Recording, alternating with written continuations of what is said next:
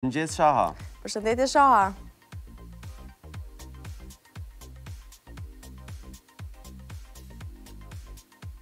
Mirëmëngjesi për ju në studio, mirëmëngjesi dhe për gjithë miqtë e Alarmit, pra ashtu si që e paralajmëruat edhe ju, është një ndër temat më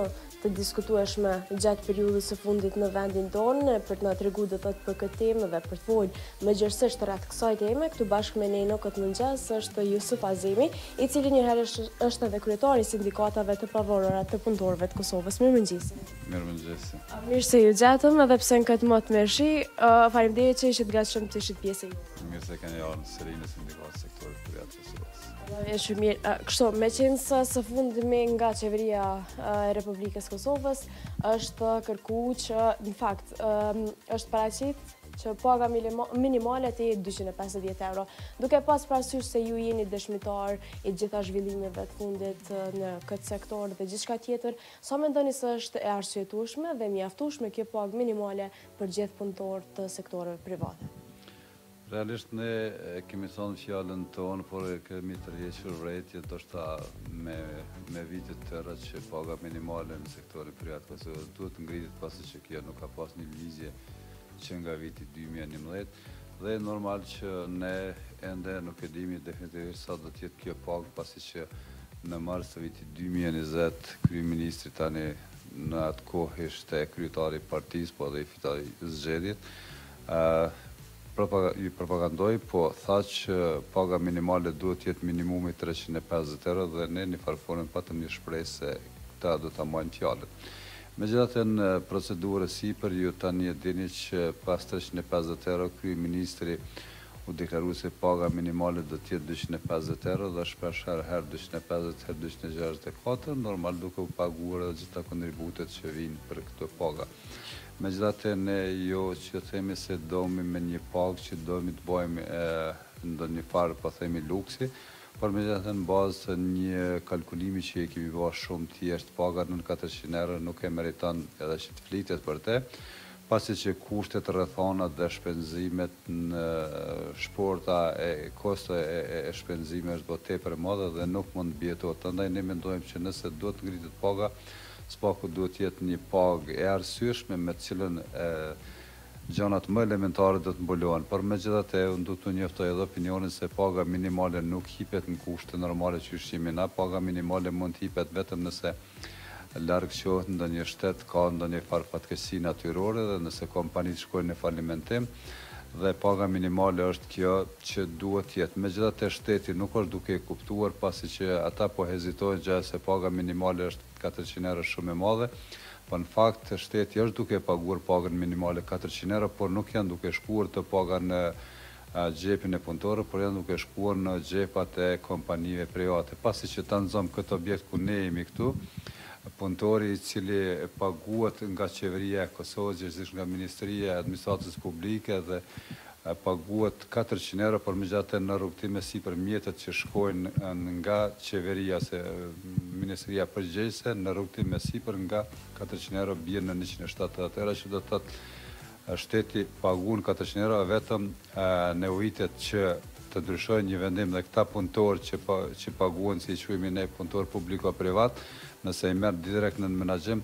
ata nuk do të pësojë kurrfarë ndryshimi dhe do të jenë të kënaqur edhe punëtorët, normal që edhe shtetit nuk do t'i kushtojë asnjë kosto as më e vogël. Ju si sindikatë keni kërku prej gjithë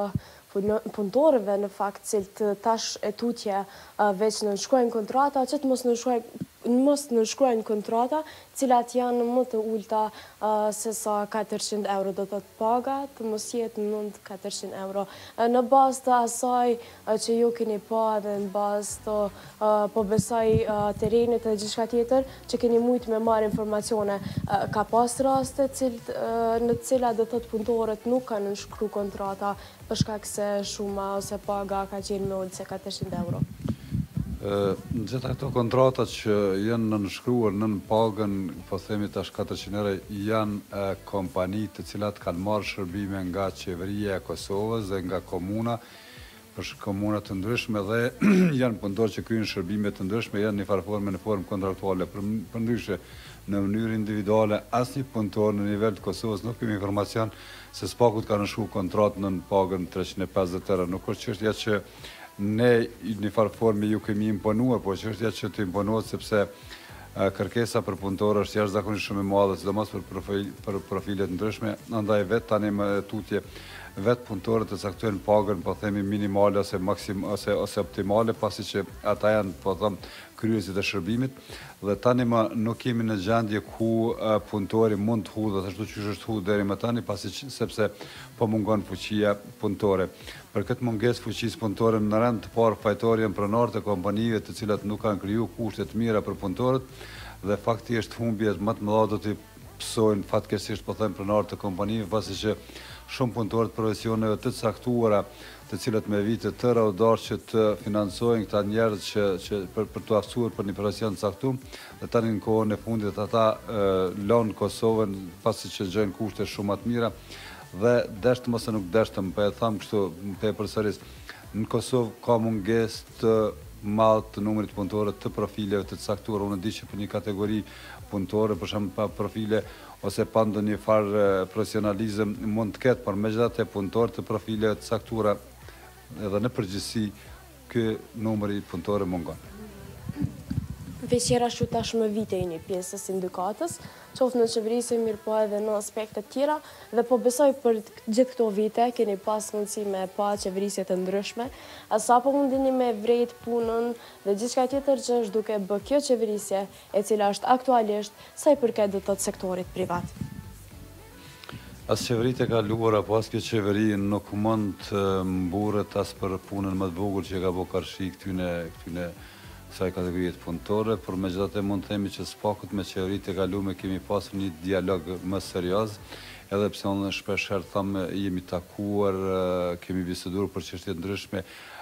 Shpesh herë na kanë gënjyer, por në një farë forme kanë gënjyer veten, sepse në moment kur na kanë gënjy neve ata edhe kanë humb pushtetin. Po tham shumë sinqerisht ne me tani kryeministrin e Kosovës kemi pasur disa takime, po flas sa ka qenë në opozitë, por edhe kur i ka fitu zgjedhjet, deri sa nuk e ka marrë mandatin e kryeministrit dhe mu më ka befasu për të keq mos komunikimi, mos dialogimi sidomos për punëtorët e sektorit privat të Kosovës. Unë jam tepër i befasuar me këta, Ndoshta po themi ky mund të krijojë mrekullina nesër e pasnesër por deri më sot po tham se nuk e ka bë as punën ma të vogël andaj edhe ky tash për ne bjen në një kategori të barabartë me ata të cilët kanë shkuar ma herët pasi që merrni me mend shumë tani ish kryeministra që kanë qenë në kohën kur ata kanë pas mundësinë të rritin pagën tani mund të dalin dhe deklarojnë se nëse vi unë kryeministër do të jap pagën një mijë euro kur në fakt ai ka qenë vetë aty Dhe nuk e ka bo një lëshim të tillë. Andaj ne ju e thatë shumë mirë se unë jam një sindikalist i vjetër, ose fatbarësisht ose fatkeqësisht kam përcjellë shumë kryeministra, por megjithate duhet ta rrumbullakësoj megjithate.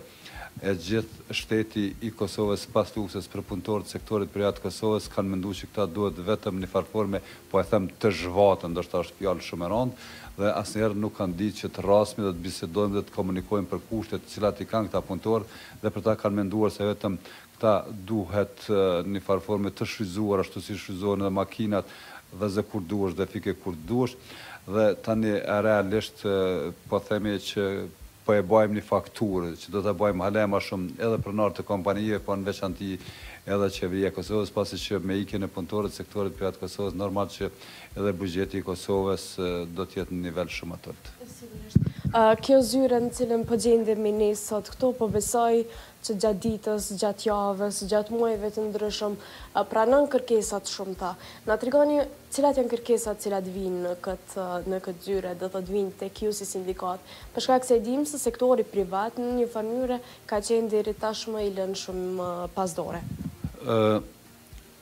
Po themi të drejtën që nga ora shtatë deri në orën njëmbëdhjetë, eventualisht dymbëdhjetë natës telefonatat asnjëherë nuk ndërpriten pasi që kemi probleme jashtëzakonisht shumë të mëdha por nga problemet të cilat kemi ku në shumë kompani pagat edhe aq të vogla që janë nuk u japin me kohë Kemi probleme të cilat u shkpusin kontratat e punës pa ndonjë arsye, kemi problemet më të ndryshme, kemi probleme nga presionet që i bëhen punëtorëve për punën që e bëjnë duke menduar se ata duhet të jenë vetëm makinë e tyre që duhet funksionuar patjetër, kemi probleme që nuk respektohet pushimi i lehonisë, pushimet vjetore, pushimet mjekësore, kemi problemet më të ndryshme, kemi problemet normal që. Sidomos tani ne kemi bo nji padi në gjyq për punëtorët e sektorit privat, gjegjësisht punëtorët teknikë që i quajmë ne nëpër spitale, qendrat e mjekësisë familjare dhe ambulanta, ku shteti ka qenë i obliguar që për çdo muaj të paguajë, sikurse i ka paguar edhe mjekët dhe në mesin e një mijë e dy treqind punëtorëve, pothuajse gati për çdo ditë është e pamundshme mos me të thirr dikun rreth njëqind punëtorë me pyet se deri ku shkoj lënda si dhe çka, Dhe po themi të drejtën jemi jemi jemi socializuar me me këto kërkesa të tyre me sepse është edhe shumë e vështirë të qëndrosh që sa telefonata që merr merr telefonata që është bo keqpërdorim ndaj fuqisë punëtore ekskluzivisht domethënë ndaj ndaj punëtorëve të ndryshëm kemi jashtëzakonisht probleme në realitet në sepse ju e dini që unë gjithëherë në raport me inspektoratin e punës kam dhënë ato çka e meritojnë tani po shoh një sinjal po flas për si kryeinspektor, por nuk po flas si kryeinspektor, si si inspektorat, te një kryeinspektor i cili tash është është një person i cili po mundohet të japë gjithçka nga nga nga nga shpirti i vet që të përmirësojë këtë gjendje, por është shumë normale që kjo gjendje nuk ka mbrena dite dhe kjo do të lypë kohë dhe nuk janë nuk i ka kushtet e mjaftueshme që ta luftojë në një farë forme keqpërdorimin e